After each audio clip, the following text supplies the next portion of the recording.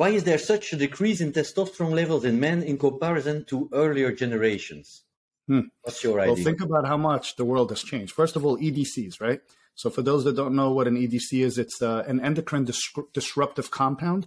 You have so many things in the world today that we didn't have 50 or 80 years ago. Or let's even go back 20, you know, when I was a kid, 30 years ago. Ed- endocrine disruptive compounds we have first. Let's just start with technology. Let's think of the external factors, not even the ones that we're holding in our hand.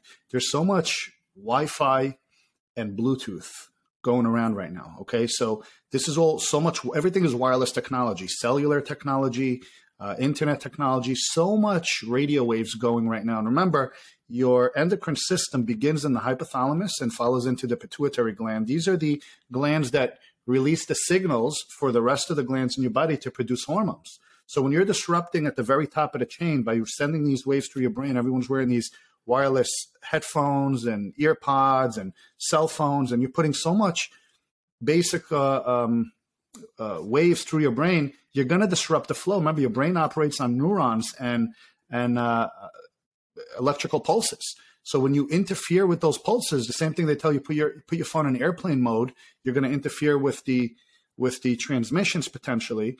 Uh, you're going to also interfere with the transmission in your brain when you're constantly blasting it. Secondly, the quality of our food is absolutely atrocious. There's no more nutrients in food.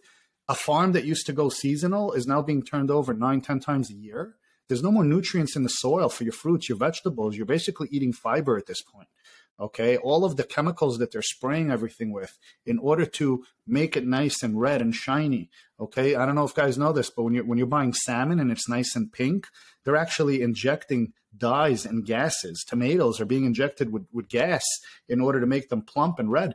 You're eating plastic, you're eating food like products. So everything we ingest and everything we breathe and everything that we do from a technological standpoint is impacting us in a negative way. Now, you couple that with lifestyle, where today everybody is sedentary. Okay, we used to have to have a face to face meeting, and now we're sitting here doing video calls, or we're on Instagram, or we're on Facebook, or you know, we're driving in the car and talking to the car, and there's no more physical activity. So people are sedentary. People have become lazy.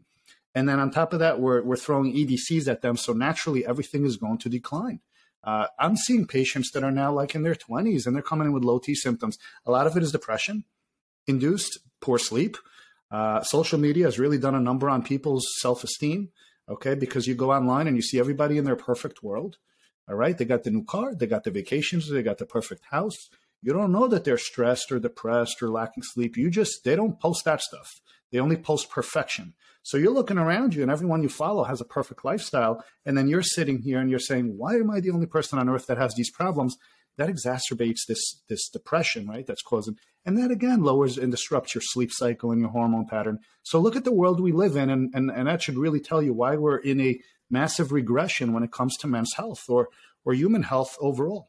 And now click on this video to learn more about TRT and hormone optimization.